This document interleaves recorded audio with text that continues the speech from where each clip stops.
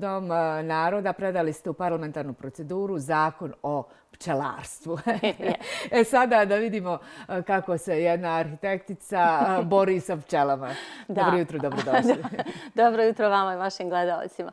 Pa ja sam se, inače me znate kao neko ko se četiri godine prije u mandatu u, kao zastupnica u federalnom parlamentu stvarno borila za, za poljoprivredu i ruralni razvoj. I tako sam na terenu i upoznala ljude E, E, pčelare koji su mi govorili o svojim problemima i onda sam im obećala da ćemo raditi na tom zakonu i zakon o pčelarstvu smo stvarno pisali e, pčelari e, zajedno sa profesoricama jedna Leila Biber sa Poljoprivrednog fakulteta i Behija Dokić sa Veterinarskog fakulteta koje se upravo bave pčelama, ekonomisti, pravnici, svi zainteresovani, uključili smo i asocijacije, Ovaj, pčelara na različitim nivoima i savez eh, pčelara, tako da smo E, deset mjeseci pisali ovaj zakon i pisali su stvarno ljudi koji se time bave, kojima, do, kojima je do toga stalo. Ono što je važno jeste da sam jako puno naučila o tome mm -hmm. i mislim da je ovaj sad zakon u nacrtu, on je u nacrtu, spreman za javnu raspravu, mm -hmm. odnosno spreman je za proceduru. A, zašto smo krenuli? Zato što zakon o stočarstvu iz 2013. godine i pravilnik o pčelarstvu 2018. godine nedovoljno reguliše ovu oblast i mi znamo na terenu da jednostavno i kad kupimo med, posebno ako ga kupimo na nekim štandovima koji nisu provjereni, mi nismo sigurni šta smo kupili, pa čak i na policama se može naći neki med koji nije baš toliko kvalitetan, na cijene su im dosta visoke, a znamo koliko će ljudi rado odvojiti novac jer je med lijek.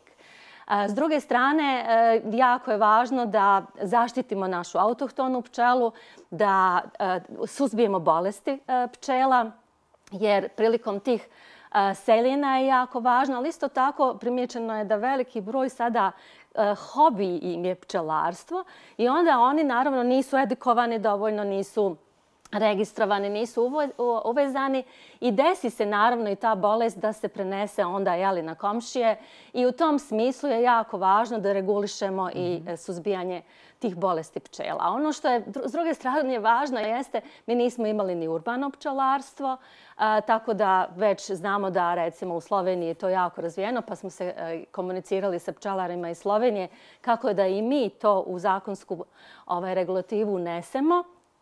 Također nije regulisana niti komunikacija između pčelara i drugih poljoprivrednih proizvođača, jer kada oni koriste pesticide, jako je važno da se to obavijeste pčelari, da se u tom momentu pčele zaštite zatvore, da ne bi došlo do, do trovanja.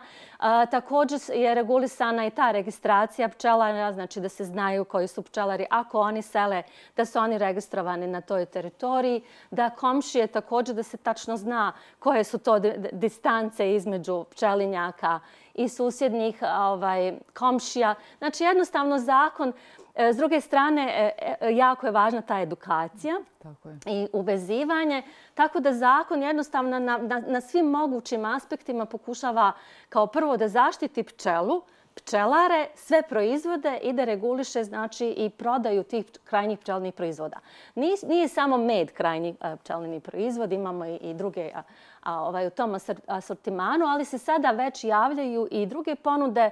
Moj otac Rahmetli je 13 godina se borio sa najtežom bolešću metastazama raka i liječio se ubodom pčela jer je o tome čitao ovaj, kako to rade u Holandiji. Sada to već dolazi i u Bosnu i mhm. Hercegovinu i na neki način treba pomoći i regulisati na koji način takav vid e, e, liječenja mi možemo imati, jer već vam već imate i neke ovaj ponude sa tim api e, čelijama ili sobama i u tom smislu da pomognemo. Znači, ne toliko da se to reguliše, naravno, jako je važno da se reguliše, ali da se jednostavno pomogne da se u posticajima poljoprivrede prepoznaju ovakvi inovativni načini ovaj, rada sa pčelama. Ali ono što je stvarno najvažnije jeste da pčele, bez pčela svijet ne može da opstane. Znači pčele oprašuju preko 85% biljaka. Jedna, e, dvije trećine hrane koju mi koristimo i sve životinje oprašena je od strane e, pčela. I to je jednostavno životinja koju treba apsolutno dati primat i dati zaštitu. U Federaciji Bosne i Hercegovine do sada to nismo imali sa ovim zakonom. On je u nacrtu. Ja pozivam sve stručnjake, sve mhm. pčelare, sve zainteresovane da se uključe kada zakon bude ovaj, u nacrtu bio u javnoj raspravi, da ga još boljeg jeli, napravimo. Mi smo učinili onoliko koliko smo a, mogli i znali, ali ono što je jako važno reći jeste da su pčelari, znači oni koji su a, a, i udruženjima pčelarskim i pčelari koji imaju svoje pčelinjake, čitali svaki član, prolazili, diskutovali sa stručnjacima, sa evo kolegama iz Slovenije i onda smo dolazili do onih nekih najrealnijih zaključaka i ovaj to stavili. Naravno, zakon je i u skladu sa svim onim što sadašnji pravilnik reguliše i drugi zakonski e, pravci. Međutim, jako je važno da je on opet usklađen i sa evropskim e, ovaj, normativima. Tu su nam naravno pomogle naše profesorice koje su nam uskladile to sa onim što se u Evropi već radi.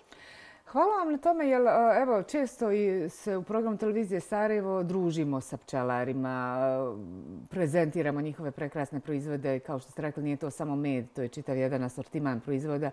I čujemo mi njihove probleme, oni se svaki put požele na nešto, ali jednostavno nije bilo volje da se malo konkretnije pristupi tome, a znamo koliki je i potencijal u pčelarstvu i kolika je potreba za pčelinjim proizvodima upravo. S druge strane, stvarno nisam ni znala da recimo mi imamo neka područja u Federaciji Bosne i Hercegovine ili u Bosni i Hercegovini gdje vi pčele čak ne morate da selite, mm -hmm. gdje one mogu da opstanu ovaj, cijelu, cijelu godinu. Onda imate neke dijelove gdje one moraju da se sele. Onda imate dijelove godine kada imate jele, određene pašnjake mm -hmm. i ispaše pčela. Onda ta urbano pčelarstvo, recimo u Ljubljani, gdje, gdje je Ljubljana, pošto je očistila svoj grad, jel, što je cilj i, i Sarajeva, a i svi drugi gradova u Bosni i Hercegovini da bude čišće i zrak i voda i zemlja, pčele su te koje su pomogli u tom očišćenju. I sada je taj e, med na krovovima Ljubljane čak e, najbolje nagrade ovaj osvaja. Jer nemate pesticida. U gradovima se ne koriste pesticide. One su izbacili čak i, i one pesticide e, koje su koristili prilikom pranja ulica protiv korova, znate, uz, uz, uz ove ivičnjake. Tako da onda su napravili mapu svojih krovova i ti zelenih površina gdje one mogu ići na, na ispaštu. I onda imate jednu komunikaciju između tih javnih preduzeća komunalnih, jer i tamo, znači javno preduzeće u Ljubljani, zna kada kosi, jer onda ako u proljeće imate, ne znam, one naše babajanje i one maslačak jeli, u našim parkovima, to se ne kosi sve dok ne prođe cvat, da bi pčele u stvari išle na, na ispašu. Kakav ozbiljan pristup cijelog Da, znači ozbiljan pristup i kod korišćenja ovih pesticida, apsolutan. Znači tamo, mislim prvo što se naravno umanjuje korišćenje i sada već imate istraživanja koja nam na, na, na tržište donose, da kažem, te proizvode sa kojima štitimo ovaj, biljke koje nisu toliko štetne niti za čovjeka, niti za prirodu.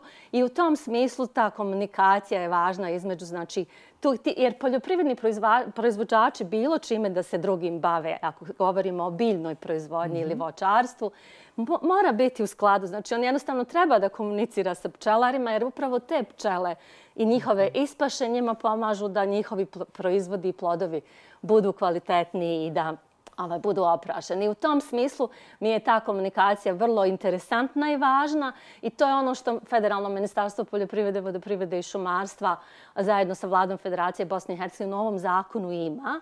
Mi smo im znači pomogli, predali smo ga i on sada jednostavno treba da, da doživi tu parlamentarnu proceduru na jedan najpozitivniji ovaj način. Mi smo, evo ja sam već juče imala pozive od nekih udruženja pčelara iz Tuzle apsolutno je zakon javan. Ja sam spremna da ga šaljem na mail, međutim on je i na web stranici Parlamenta Federacije Bosne i Hercegovine možete ga pronaći i već sada možete ga čitati i naći u njemu eventualne sugestije i, i ovaj korekcije, poslati e, naravno u, javno, u vrijeme javne rasprave, ali i sada ukoliko želite komunicirati e, može. Važno je da je upravo ta pozitivna energija oko tog zakona, da, ovaj, da, da sigurno je on tu da nam što više pomogne.